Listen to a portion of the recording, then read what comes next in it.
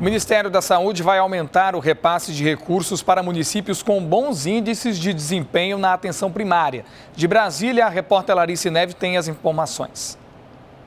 O Ministério da Saúde aqui em Brasília anunciou que vai premiar as cidades que têm os melhores indicadores no setor. Isso quer dizer que se o município conseguir vacinar mais pessoas, tiver mais grávidas fazendo o pré-natal e possuir outros bons índices, ele vai receber uma verba maior do governo federal.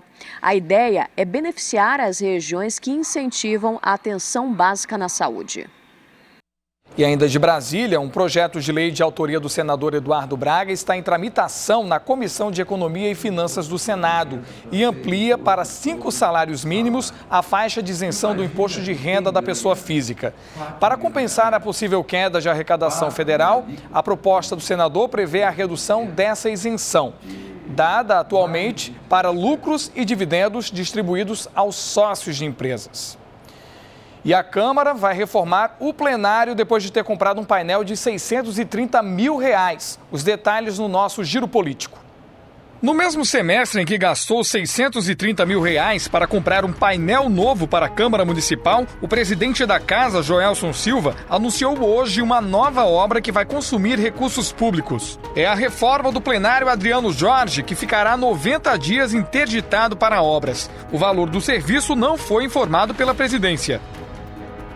Um dos principais aliados do presidente Bolsonaro no Amazonas, o deputado estadual delegado Péricles, anunciou nesta quinta-feira que vai deixar o PSL para ingressar no novo partido que será criado pelo presidente, o Aliança pelo Brasil. Já o deputado federal delegado Pablo, também do PSL, ainda não anunciou qual caminho tomará.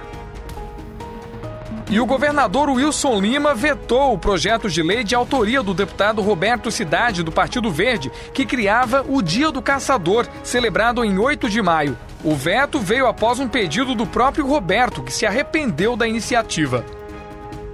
E agora vamos falar de esporte. A gente vai mostrar o treino do Amazonas Futebol Clube, que está se preparando para enfrentar o tradicional São Raimundo na final do Barezão, que acontece no próximo sábado é com oração, bola no pé e raça que o Amazonas Futebol Clube, criado em maio deste ano, tem se tornado uma grande promessa. O Amazonas hoje ele nasceu com essa proposta, né, de um clube diferente, com uma boa estrutura, né, não tem nada demais, apenas o básico para um atleta poder desenvolver o seu trabalho. Né? O time já nasceu despontando no cenário do futebol e por aqui não tem nada de papinha não, são onças pintadas que estão jogando muito, estão assustando os adversários, sabe como? Com chutes como esse do Davidson, está fazendo toda a diferença no campeonato. O time estreante já garantiu vaga na primeira divisão do campeonato estadual, mas olha, tem mais jogo pela frente. A gente vem trabalhando forte já tem dois meses é, com esse objetivo de conseguiu acesso, que nós já conquistamos, e agora o título né, para coroar essa, essa, esse, no, esse novo clube.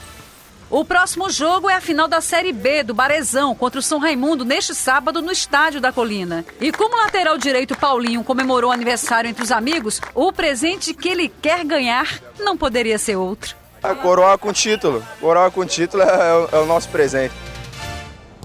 Fique agora com o SBT Brasil. Até amanhã.